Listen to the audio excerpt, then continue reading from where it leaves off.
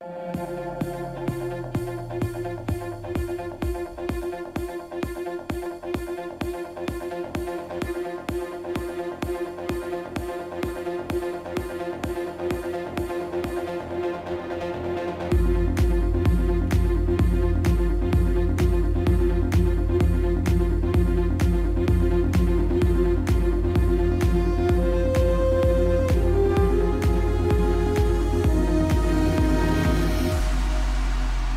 Hola, buenas noches, buen domingo, ¿cómo estamos? Eh, ¿Descansaste? Hay que cuidarse, gente. Estamos en un momento bravo de la pandemia. Estamos en un momento difícil. Te lo están asumiendo, te lo están reconociendo las autoridades. Y que el pico, que el no pico, un altísimo funcionario de la provincia me dijo, no sé si es el pico, pero lo peor no llegó. Y no está mintiendo, no está exagerando. Digo, hay, hay dos carriles acá, ¿no?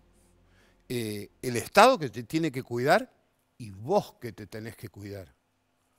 A vos y a tu familia, a tus viejos, a tus hijos, a los más débiles.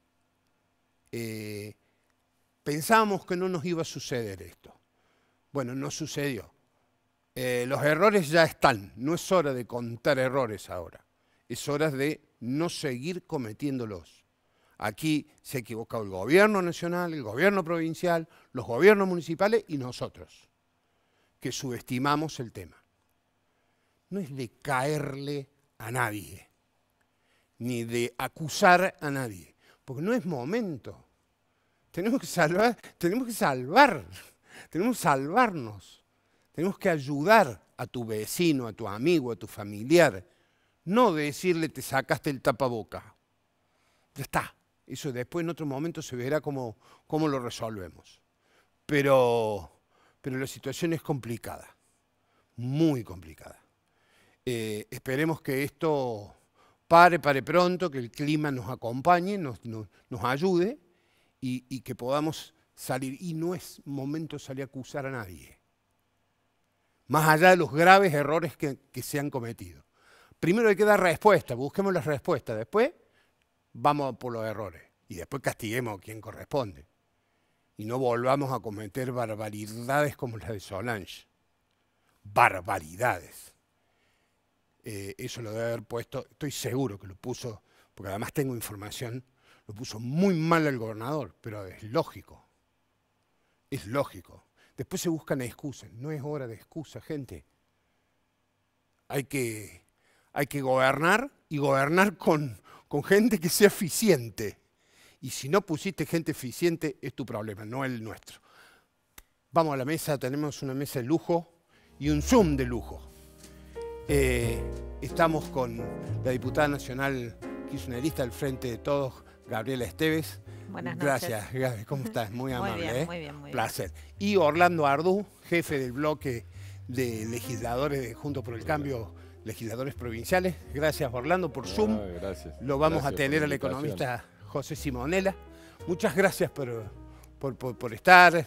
Este, siempre las agendas son complicadas y, yo celebro que de, tener gente interesante y que diga cosas. muy eh, bien. Muchas gracias por la invitación. Bueno, eh, ¿qué opinas de...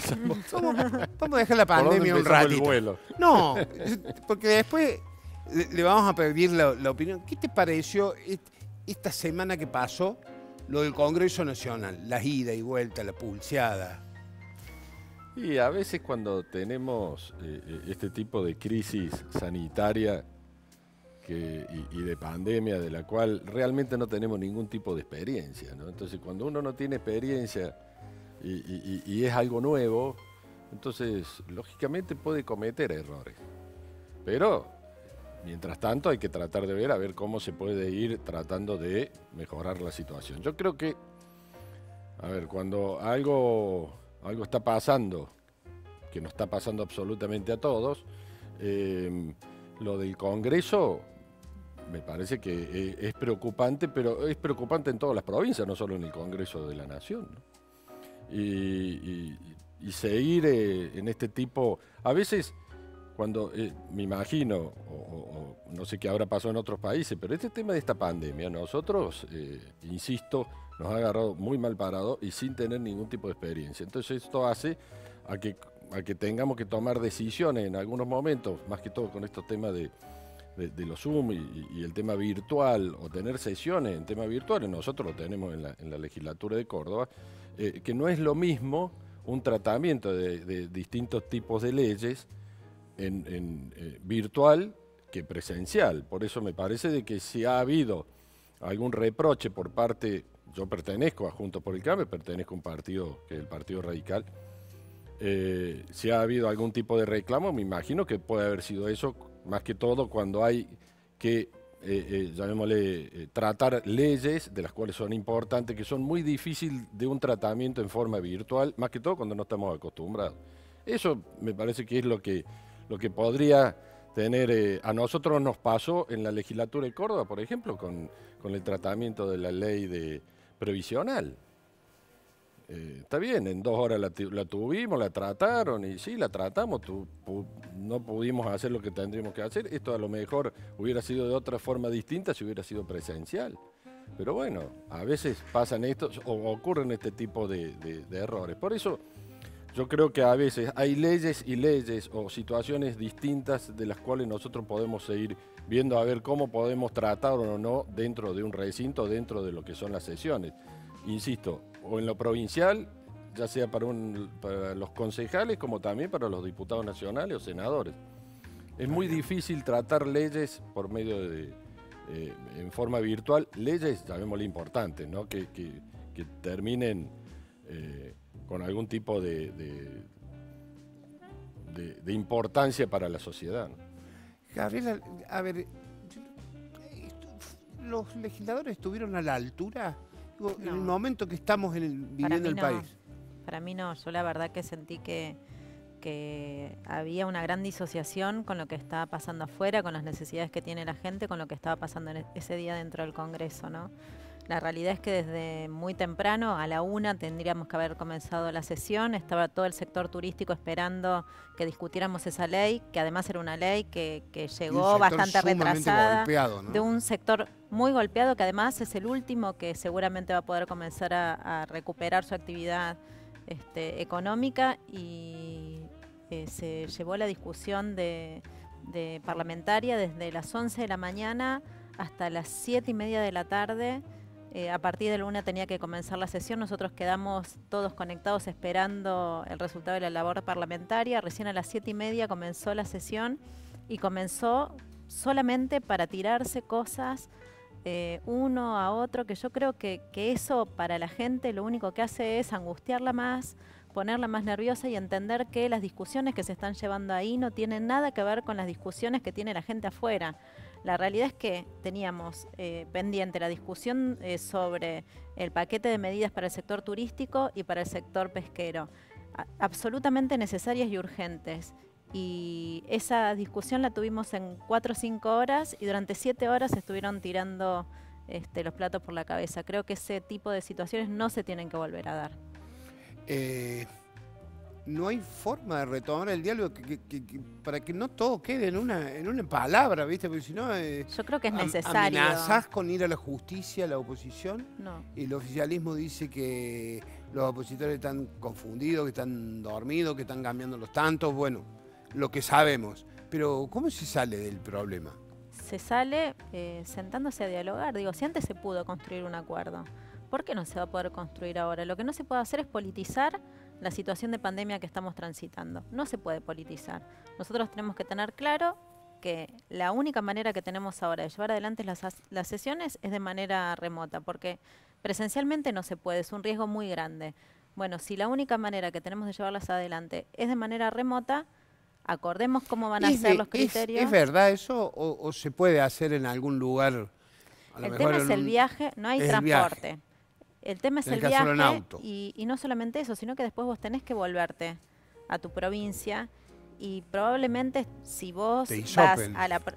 eso no es un problema, pero vas al, lugar, al epicentro de la pandemia a nivel nacional. Pero el, hisopado viene junto con unos días de aislamiento. Bueno, tenés que volver a tu provincia, estar 15 días aislado. Bueno, todo eso también es, es un incordio. Si tenemos la posibilidad de hacerlo de esta otra manera, si podemos hacerlo acordando entre todos, si hemos resuelto hasta ahora cada una de las sesiones, acordando el temario previamente y yendo con un acuerdo parlamentario a cada una de las sesiones, ¿por qué no se puede sostener eso? No tiene lógica no Ah, hacerlo. Gabriela, ¿a vos te parece que, me parece que a veces hay, hay, hay leyes de las cuales no son tan fáciles de acordar? Pero no se iban a poner a discusión ahora. No, porque son, por ejemplo, este tipo de leyes que, que- que- que votaron, que bien vos decís, son muy importantes para la sociedad, la estaban esperando, porque son resoluciones que se les tiene que dar a- a- a- al sector hotelero, al sector turístico, al sector pesquero. Pero a veces, cuando ya eh, ah, son leyes, y, y no vayamos tan lejos, que la ley eh, de, de la reforma judicial, no me parece que sea una ley que pueda ser tratada No en se estos iba- en no estos- se iba a llevar- no se iba a llevar a la mejor, discusión si vos parlamentaria llegás- ahora Si tampoco, vos llegás a ¿eh? algún acuerdo y, y- y- piden algún tipo de, de extensión en el tiempo, llamémosle así, Mira, de, de uno o dos meses. 60, porque, porque 60 no, conozco, especialistas, no conozco el reglamento. 60 especialistas convocados para dar, la, para dar la discusión sobre, eh, sobre, ni siquiera es una reforma, no es una reforma. Está no discuto, Pero- no, no- pero no te discuto la había- reforma, ni, ni- ni- lo que sí es el tratamiento de la reforma. Por eso, pero te digo, hay eh, 60 especialistas convocados para dar la discusión al respecto de esto. ¿Vos te pensás que eso se hace en dos días? No, Eso lleva mucho tiempo. Entonces, hasta que llegara el momento de discutir el proyecto de ley, eh, iba a pasar suficiente tiempo que quizás ya estamos de nuevo en sesiones presenciales. Eh, fue Yo simplemente... creo que es necesaria. Es- Bueno, esa ley, por, ejemplo, pero por eso, es pero ni siquiera se ponía en cuestión eso. En realidad lo que se decía es, continuemos con este otro sistema si podemos seguir eh, resolviendo eh, las cuestiones que son urgentes, porque en realidad lo único que hemos tratado durante este tiempo son cuestiones Claro. urgentes y de consenso. Sí, Eso era lo que se planteaba. Sí, sabe, lo que pasa es que no conozco, como recién le decía, no conozco el reglamento. que Ujú. pueden llegar a- los reglamentos son, son, son mi- de mi cuidado para pregunta todos los... Sobre el, el análisis que, que se hacía de- del proyecto de ley, que yo coincido contigo, no es una reforma judicial, son algunas, algunos cambios. ¿Cristina los ninguneó? No, Es no, decir, esto no es la reforma. No, no los ninguneó, lo que dijo es no eh, digamos cosas que no son. Esto no es una reforma de fondo. En realidad tiene que ver más con una redistribución, por decirlo de alguna manera. Pero no tiene que ver con una reforma de fondo. Eso se discutirá más adelante, en otro momento, pero esto se trataba solamente de una redistribución, una descentralización, porque también es real que muchas causas que tienen que ver con provincias terminan en Comodoro Pi y eso es un incordio tremendo para quienes eh, son de las provincias o incluso en los tribunales de Córdoba se discuten cosas que son de La Rioja, de otras provincias, se les hace mucho más caro, es mucho más complejo. Bueno, se trata de eso, no es una reforma, es una descentralización de eso. Por eso lo que decía Cristina es, no le pongamos un nombre que, que- que no corresponde porque no es una reforma. Ahora, Gabriela, me parece que también, eh, no sé, siempre, no viéndolo desde la óptica opo- opositora, para nada, pero vos recién lo dijiste, son momentos de los cuales necesitamos salir en... No, no tiene que haber distinciones de colores políticos y necesitamos salir Sí. todos juntos y aprender todos juntos de esto. Eh, me parece que es una ley esa de la cual no es tan necesaria para salir de, un- de una crisis, como te acabo de decir, crisis social, crisis sanitaria por ahí y, y hasta, y hasta económica. Sí son las salidas lo que acaban de hacer, el tema del turismo, el tema de la educación, Bueno, cuándo van a quizás volver también los chicos. desde, desde qué Pero punto me de parece vista que una se- reforma, no le digamos reforma judicial, un, un- un tema judicial que la verdad que no, no, Sí, no- Les no propongo nos molesta, ¿no? seguir porque me tengo No, que ir a una pausa. Sí, después, ahora conversamos con José Simonella, el economista, que del, del- en breve sobre qué hacer con la plata en, los en el corto plazo. Le vamos, lo vamos a consultar una vez más a José y, y luego volvemos al piso con los invitados. Pausa, ya venimos.